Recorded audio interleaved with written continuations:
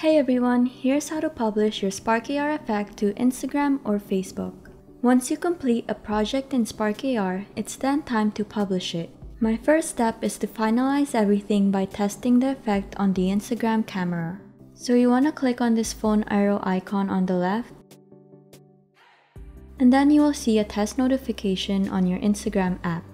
Just click on that and double check to make sure everything looks good since in my experience, sometimes the effect on the preview window doesn't look as precise as the final look that you can find on the Instagram camera.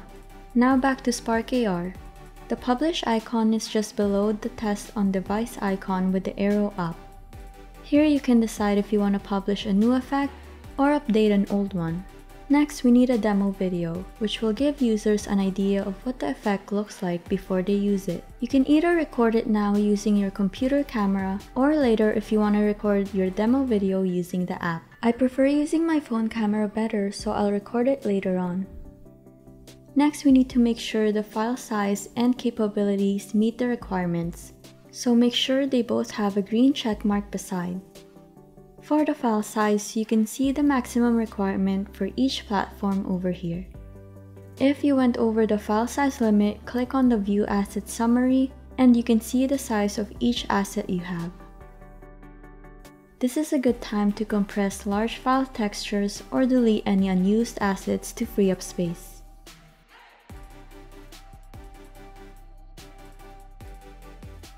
Back to requirements, go and review capabilities. For experiences, it'll automatically check the platforms that's supported from your effect, but you can uncheck any if you prefer not to include it. If you find that your effect is unsupported to a certain platform, then check your capabilities and either decide to remove it or just leave out publishing on that platform. Now you can hit upload and it will redirect you to your SparkAR publishing page. Before that, I want to let you know another way which is to click export here and this will create an AR export file that will save on your computer and you can just manually drag this to the Spark AR Hub publishing site. So let's go there now.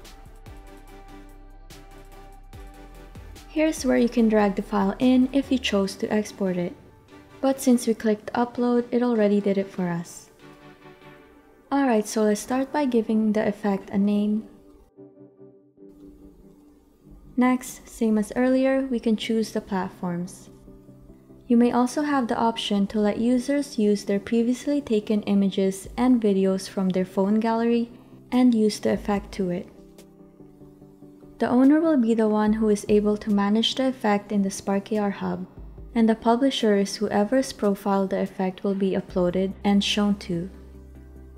Next, we have categories where you can select up to 4 that fits in with your effect. Then we have keywords where you can add up to 20. These are just tags that represents your effect. Onto the demo video. If you already recorded yours on Spark, it'll automatically bring the video in. But since I decided to record it on Instagram camera and saved it, then this is where you can drag the video file in. Just note that the audio will also be included in your demo video, so mute it if you don't want to include it. Moving on to icon, you can leave it using the video thumbnail as the icon or upload your own. I created this icon on Procreate and I can just drag it in and upload it. And just make sure that the image is a square aspect ratio.